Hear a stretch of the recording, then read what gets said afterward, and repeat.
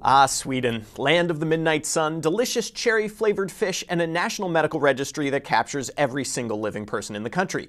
Leveraging Sweden's robust patient registry is something of a rite of passage for epidemiologists looking for population level evidence of disease association, and this paper, appearing in the Journal of the American Medical Association, found one that seems to be fairly compelling.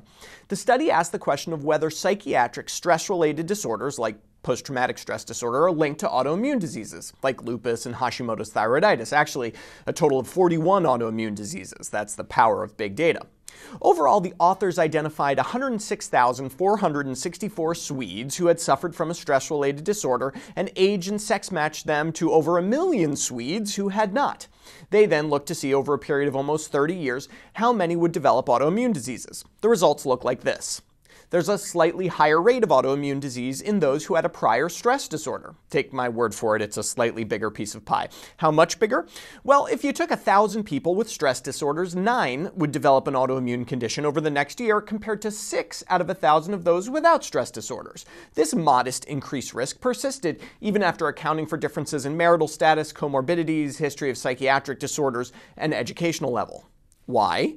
Well, the authors argue that these stressful episodes might lead to alterations in the immune system via a variety of mechanisms, none which were directly studied in this study, such as cortisol depression or upregulation of inflammatory cytokines.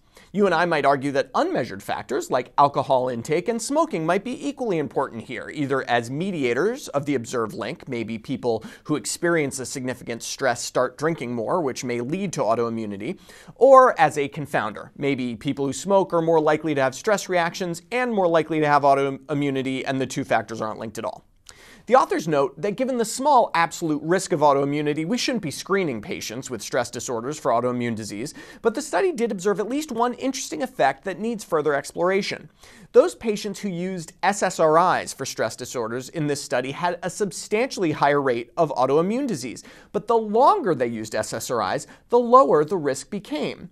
I asked lead author Dr. Huan Song about this paradoxical finding. She told me she suspects that SSRIs are a marker for severity of the stress disorder, leading to the higher effect size, but that the persistent use of SSRIs could be beneficial. Perhaps they modify some of the effects of stress. This means there's a potential therapeutic target here. When will we know for sure whether this link represents real physiology and not statistical artifact?